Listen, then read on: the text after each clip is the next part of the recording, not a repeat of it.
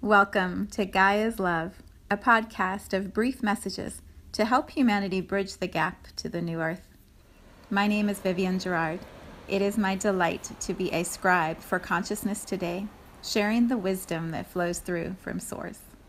Here we go.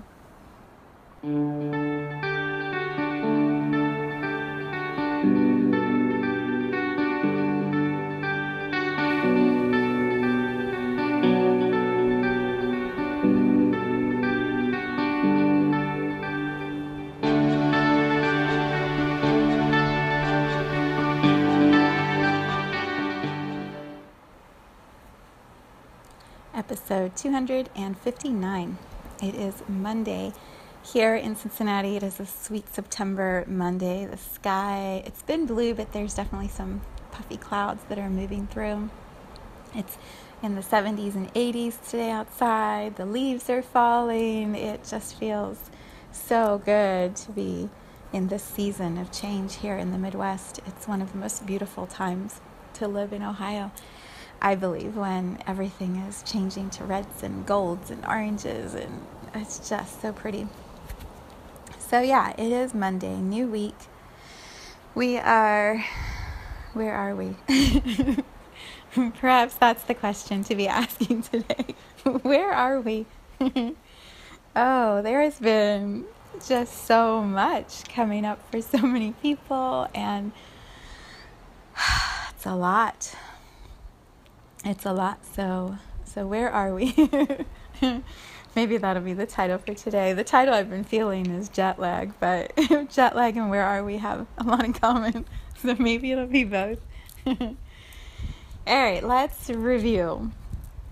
Let's review. We had a reset. What was that? Oh my God, two weeks ago? Are you kidding me? two weeks ago, we had a reset that was around the new moon week, and I believe this Saturday is a full moon. So we are moving towards illumination, my friends. there is there is clarity and wisdom arriving. It's arriving. Hang in there a little longer. uh, so we had a reset, and then we worked through all of the bugs in the system that needed to be cleared out once the reset was commanded by each of us, and then last week was all about reassessing, reassessing again and again and again a couple more times. So today, today where are we? Today the topic is jet lag and and it's fascinating how life mirrors exactly what is happening energetically for us, you know, as individuals and also as a collective humanity here on this planet. And so I I do my best to tune into that and translate it in a way that is applicable for each of us and gives us some nuggets of wisdom to guide our path. And when I say I tune in, I very clearly want to say I tune in knowing source is moving through me. And so the words that come out are much wiser than the words if I were just sitting here trying to think about what to say. just allowing the energy to flow is way easier and way more accurate and way more powerful. So, why jet lag? Well, last week I unexpectedly had to go out of town and I did quite a bit of traveling and moving through time zones. And when I got back home on Saturday morning, really early, I went to bed and I got up later, I don't know, at 9 or 10, and felt pretty good, but not 100%. And then I moved through the day and I could just feel my body going, What happen? what is going on with you? What time zone are you in? Where are you? Even though I knew I was home and I knew my body was being nourished and everything was good around me, my body and my mind were just trying to go, what what's going on? Where are we? and so today I thought this topic of jet lag is so appropriate because this is what many people are experiencing right now. When we had that that concept or opportunity of a reset. When we claim that sort of shift in our human journeys, what often happens is our consciousness shifts to bring us into that new thought place, that new awareness, that new expansion. Consciousness, the energy that is individually in us and then also collectively happening for all humans, for all beings, for all planets, for all everything. That collective energy is called consciousness. And we as humans have attempted to define it in so many ways, and there are so many philosophical conversations and videos and classes and books, and everyone has an interpretation of it. And it's the whole point. That is the point, is that everyone has their own interpretation of it. So what I offer is my interpretation, and when you listen to it, you'll you'll find some places that maybe resonate, and you'll find some that maybe don't. And so your work, your expansion, is to find what's true for you, and then take that and let that guide your own next steps. What I believe happens when we claim some sort of shift or reset or changing an old pattern, creating a new pattern, giving up the cigarettes. I don't know why that was the example that was so common for me in the last couple weeks, but giving up cigarettes, becoming healthier, choosing to be more abundant, stepping into a new job, ending a relationship, whatever, whatever the thing is that we are going to explore in our own human journey. Consciousness expands with that because we're opening ourselves up to something new and something different.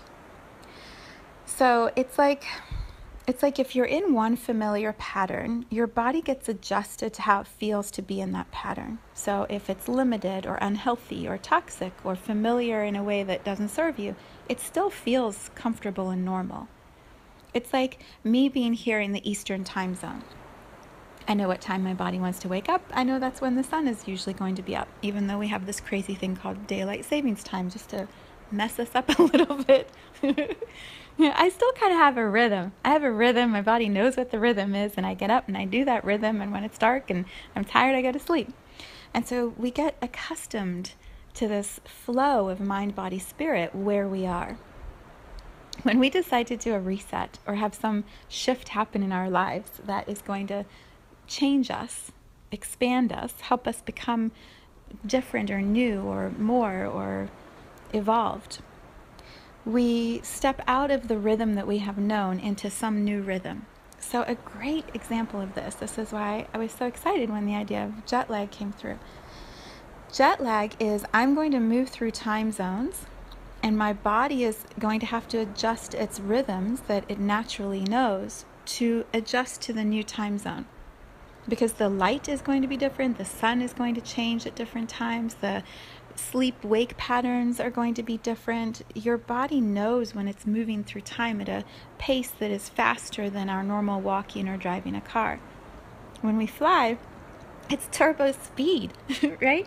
And if we're flying a long way and we're doing lots of time zones, our body knows something is changing, even though you can't physically say, I have expanded or I, there's no it's not a structured thing like you open a book and you say okay i've moved through these time zones so my body's going to have this reaction and this reaction and this reaction i'll do these things. It's it's within each of us individually and we sort of have to feel our way through it. People who travel a lot are going to have an easier time.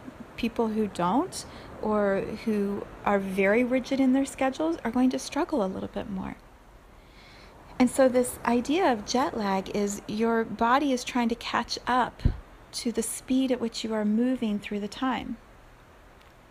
The one Google thing I looked up right before the call or before the meditation what is this? This is a podcast. the Call Meditation Podcast.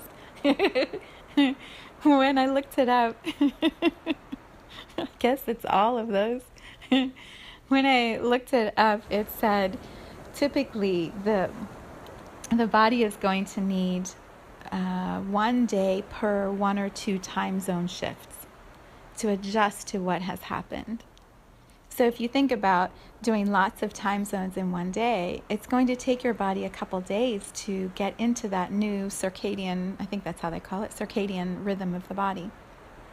If you do a lot of time zones and you come back, you're double whammying yourself. You're going there and then you're switching around and coming back. And so the body's like, Are we there? Are we here? Where are we? Where are we? What is this jet lag that I'm experiencing? So how does that how does that apply to this idea of consciousness? What is happening on our planet right now is that many souls in human bodies are awakening. They are we, we are all becoming more aware of the fact that we are more soul than we are physical human. And so it's like flying through time zones and the body's trying to go, what is happening? What is happening? What happened to the familiar routine, the circadian rhythm that I have known for so long? What is happening? Why is my mind so far ahead of my physical body? Why won't my body get up and do the things that it would normally do to make everything in my world feel familiar? The soul, the consciousness, has some things that it wants us to become aware of. Your soul wants you to move through these time zones. I call them dimensional levels, consciousness dimensional levels. It's the exact same idea as a time zone. If you're in this 3D, we'll use this as an example. Maybe you're in a 3D, third dimensional consciousness level. You are very familiar with what you see, what you hear, what you know, what you can experience, what life feels like right now. And that is a very comfortable space that you've been in. If you are moving into what I would call 4D, fourth dimensional energy, your soul may be saying, We're going to take you through a time zone shift. So maybe we're going to go back into the past and look at some stuff that you haven't healed yet that has been holding you back. Maybe we're going to move you forward in time and show you a vision of what it is you're supposed to be doing in this life that would be of higher value to the world, of higher value to your soul, to your own evolution. When your soul shows you a forward time zone or a, for, a past, a backward time zone, your physical body is going to go, What is happening? Where are we? What is going on? I don't understand. This is the world I've known. This is the world that feels familiar to me. I'm not ready to make the change. And so it's the same as jet lag. You're going to have the, the exact same physical symptoms as someone with jet lag. So, why did I have this experience last week of having to travel and travel back quickly? Because clearly I needed a reminder of what jet lag feels like so that I can tune into that and share that again with you. So, jet lag, we'll call it consciousness shift lag, Con- consciousness expansion lag. we need like an abbreviation, you know, a code name so that when you're talking to someone, you can be like, blah, blah, blah, instead of having to go consciousness level shift, blah, blah, blah. we'll come up with a code and, and I'll share it with you. For now, we'll just call it a shift a shift, right? It's the same thing as jet lag. So if you're shifting backwards or forward, it doesn't matter. The feelings are going to be the same. Imagine when you get off of the plane and you haven't been able to sleep, but it's the time when your body is supposed to be sleeping. You're so sluggish, right? Every part of your body is just trying to coordinate with each other and remember oh, that's right, we move one leg forward in front of the other, and when we're tired, we sit down. Oh, wait, I think it might be time to lay down, but I don't even care if I'm laying in a bed or on the floor or I put my head on a table right now. I just have to close my eyes. When we're moving through time zones, when we are moving through consciousness shifts, seeing with our physical eyes is sometimes just too intense because the world somehow doesn't look right. it doesn't look the way it's supposed to look. It's like when you're on the ground in the airplane looking out at the tarmac and the other airplanes and everything looks normal. And then suddenly you go through the clouds and you're like in this floaty space of blue and white and reflective sunlight or moonlight that blinds your eyes. And so what do you do? You close the screen on the window and you just go into a little vortex.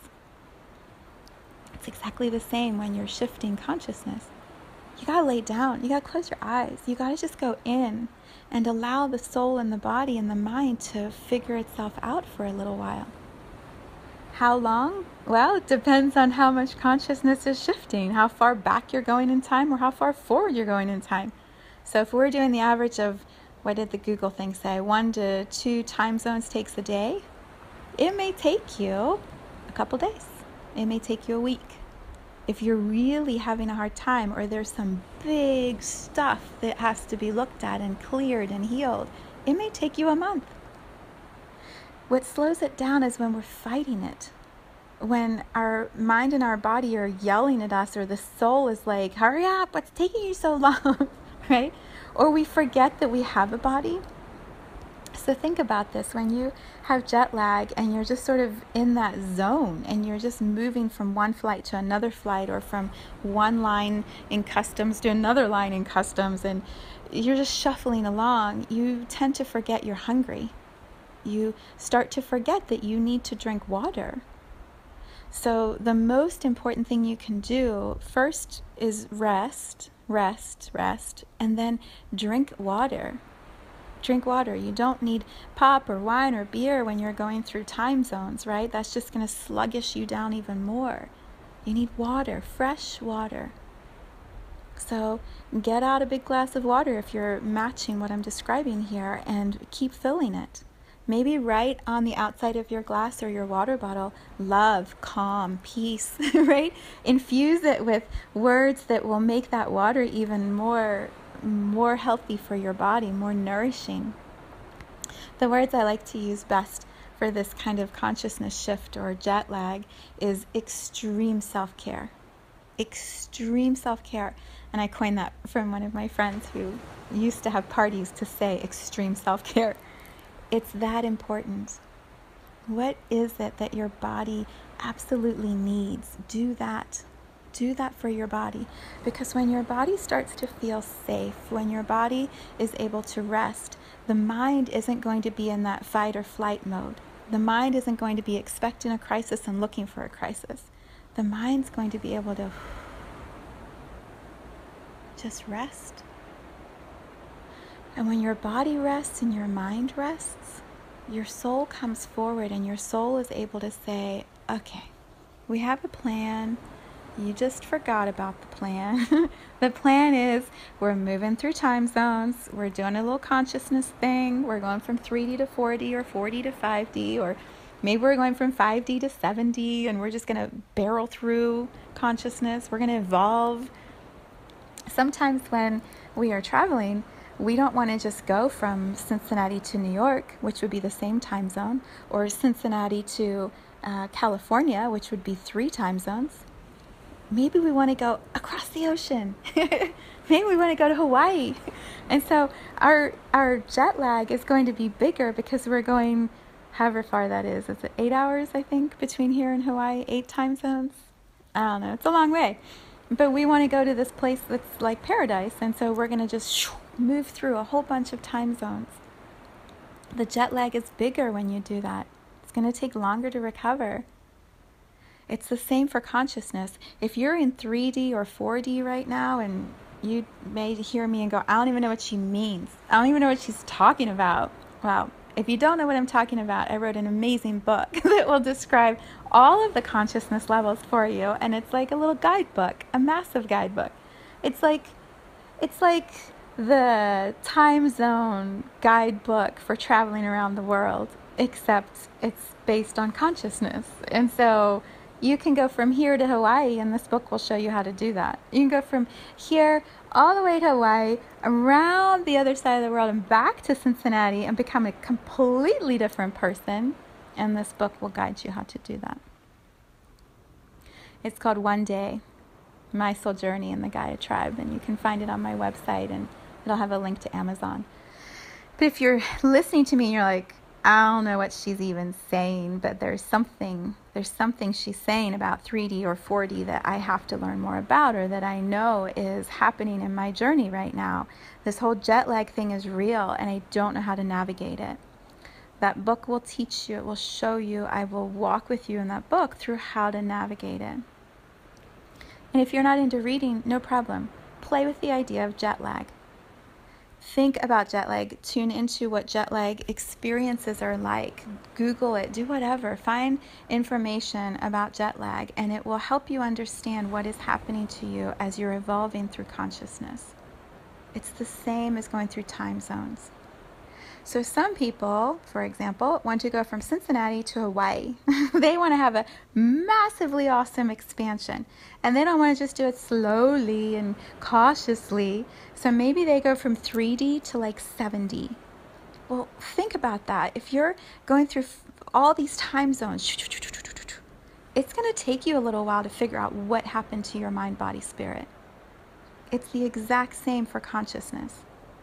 If you're having this soul intention to move very quickly to a more advanced state of awareness, you're going to have to go through all the physical stuff to get to that energetic soul expansion. So, extreme self care. Slow down the world around you so that all you're focusing on is you, your body, your mind. Your, your mind won't be able to logic through it on your own. So, listen to other podcasts, listen to music that soothes you, listen to the sounds of nature. Let the earth settle your mind. Listen to, watch movies that just delight you and make you laugh. And while your mind is engaged in that movie and your body is resting, your soul is going to be able to do what it needs to help you adjust to this jet lag. So go easy on yourself. Right on Saturday, I, I needed to ground when I woke up. So I'll give you some examples from my life and maybe this will help you. I I did massive like time zones and then back time zones. And so I got home at 3 a.m. on Saturday morning and I woke up at like 9 or 9.30 and my husband was going to go outside and mow the lawn and blow leaves and, you know, Midwest stuff that we do in the fall. And all I could think of is I got to get my feet on the grass. Like I need to be back here in the Midwest. I got to be outside. So I said, no problem, I'll mow and you blow leaves. And so I put my music on, my headphones, and I put on my tank top, my shorts, and adjusted right back into the weather, the temperature, the smells, the sounds of here, of home.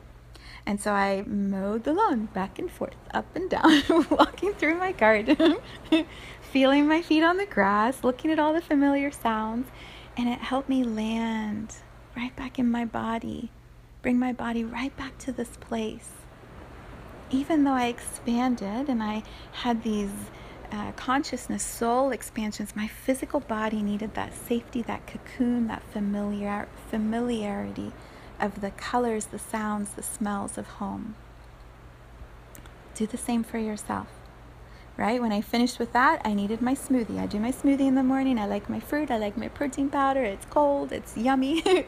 I made myself a smoothie and I hopped into the tub and I did my meditation. I, I dropped myself right back into my routine. It was a little later than it normally would be, but I brought myself back, my body, into this familiar flow of the day. I did dishes. I made food. I, I did a little bit of laundry. I can't remember everything that I did, but it was very like slow and just what I needed, not worrying about what everybody around me needed, not communicating with everybody around me, just right right in my zone.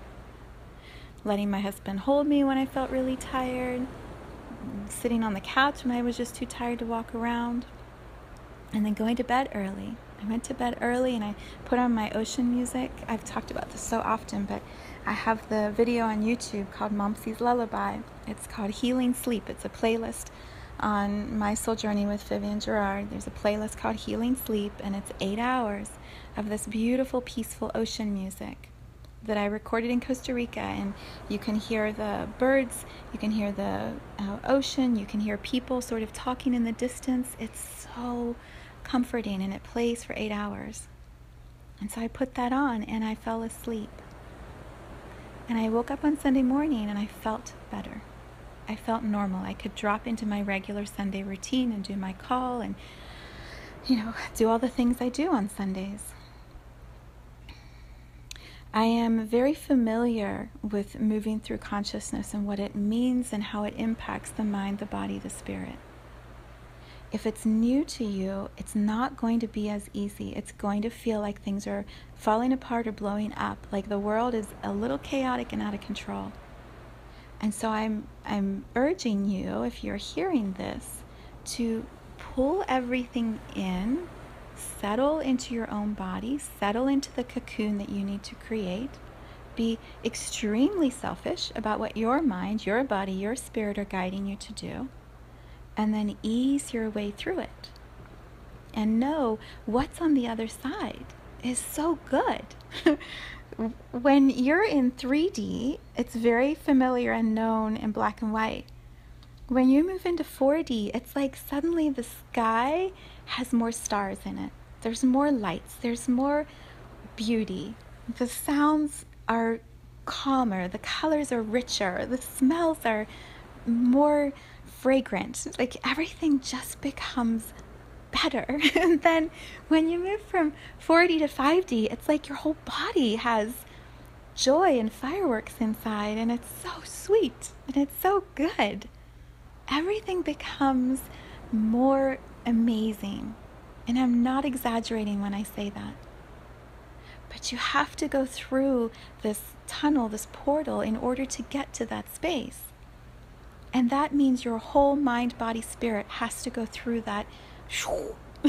like, it's like the birth canal.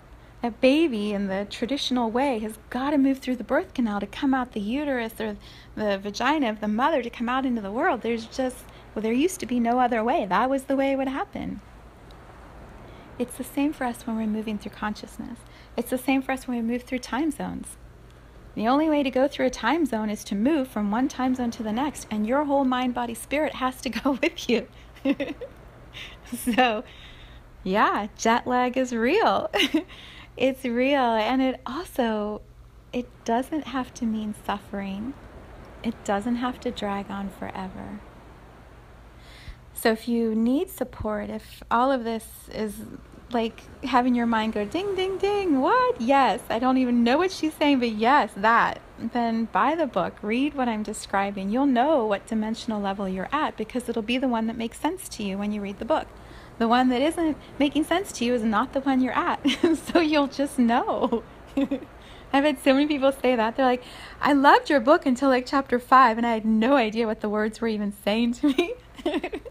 I'm like, that's because you're clearly not there yet. No worries, you'll get there. All in the right time. All in divine time.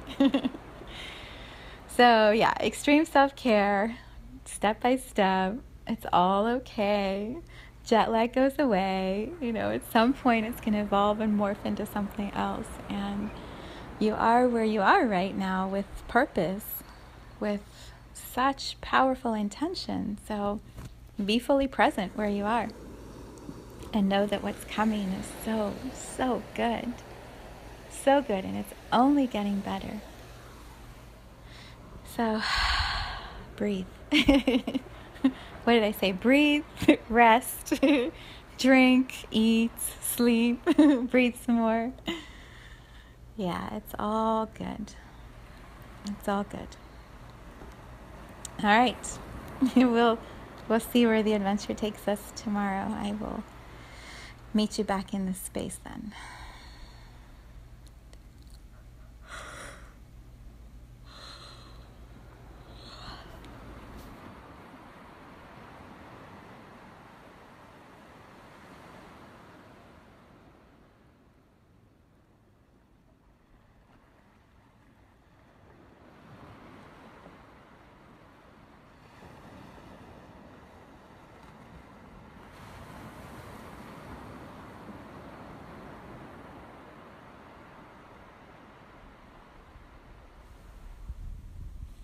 Thank you for tuning into this vibration of pure love.